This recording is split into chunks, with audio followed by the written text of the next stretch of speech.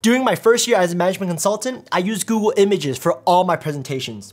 Need a chart showing increasing revenue? Google Images. Need a money icon showing how much we overcharge our clients? Google Images. Need a photo of an overworked yet underpaid first year consultant? Facebook photos. It wasn't until my second year that I found out about these amazingly helpful websites like Color Hunt, Pixabay, Flat Icons, and since then, the production value of my presentations has skyrocketed. So in this video, I'm gonna share concrete examples of how you can use four free tools to upgrade the look and feel of your PowerPoint or Google Slides presentations. Let's get started. Hi friends, welcome to the first episode of Think Outside the Box, where I show you creative ways to stand out at work.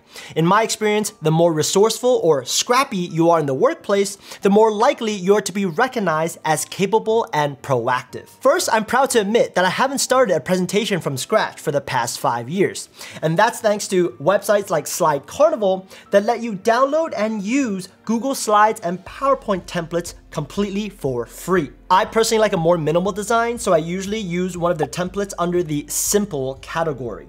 And in just two clicks, one, two, you have the option to download this template as a PowerPoint document or use it as a theme in Google Slides. I'm honestly amazed at the quality at some of these templates. I mean, just check out how like clean and elegant this Viola theme is.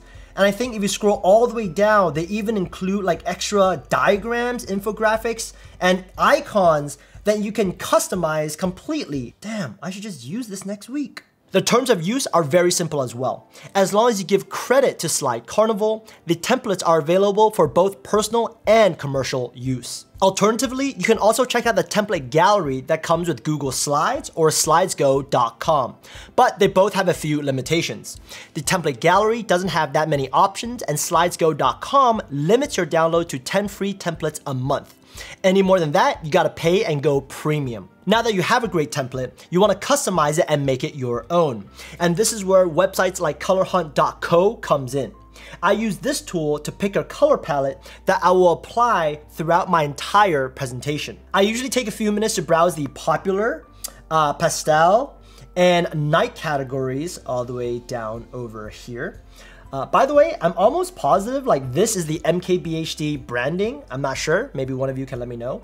And I would favorite the ones I really like and it gets added over here. Then when I'm ready to apply the color palette, I click into it, click on the hex code to copy it to my clipboard, go back to my presentation, select the color I want to replace by clicking the highlight color here, adding a custom color, pasting the hex code in, pressing OK. And for elements you can't seem to click on, like this one right here, all you gotta do is go to Slide, Edit Theme, click it here, change the color by, again, choosing the color you just added, clicking X to exit out. Look at that, I just made this template unique to me. I'm telling you, sometimes my genius is almost like frightening. Okay, but what if there's one color you really like and you wanna build around that dominant color?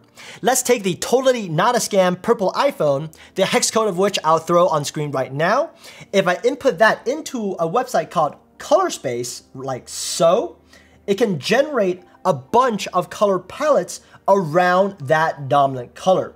For me personally, I usually go with the uh, natural palette like this one, but there's so many options on here, there's definitely something for everyone. Before you go crazy with these colors by the way, most companies have brand guidelines in place for external presentations. But for internal presentations, you can get a bit creative and show your personality. By the way, please do let me know whether you're enjoying this Think Outside the Box episode.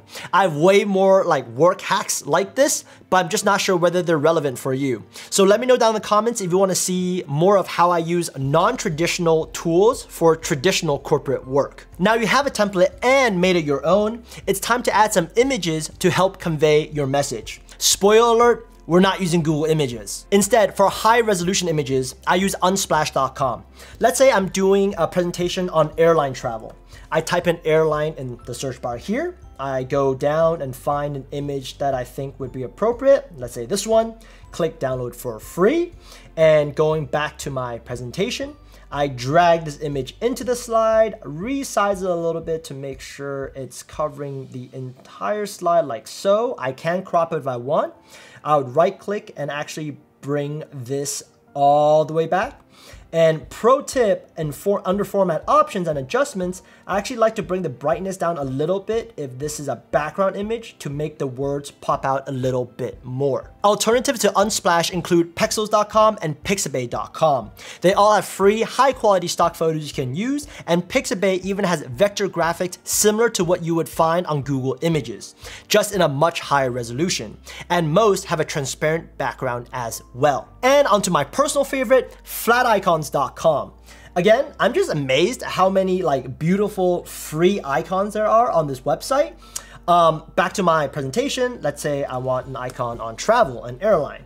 I just simply type that in. And the ones with the little crown on here uh, are like for premium users, you gotta pay, but there are plenty of free options as well. Let's pick this one. This looks pretty good. Free download, attribute the author if you end up do using this. Uh, going back to my presentation here, again, I just drag the icon onto the slide, resize it a little bit, and doesn't look too bad. Another resource for icons I recently came across, uh, and credit goes to Kevin Stratford for this one, is thenounproject.com.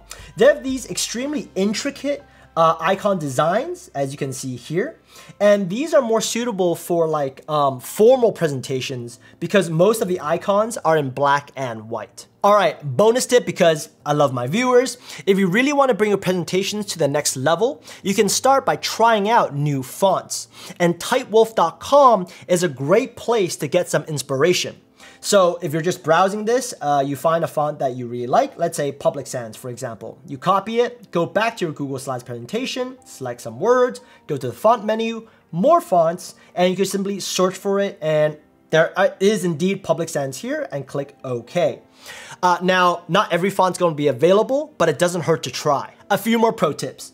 To make sure you don't forget about these tools the next time you prepare a presentation, save them into a bookmarks folder on your browser and name it Jeff Su's the Best. I'm not kidding this time. Do it. Also, check out the licensing terms and conditions for the websites I mentioned today.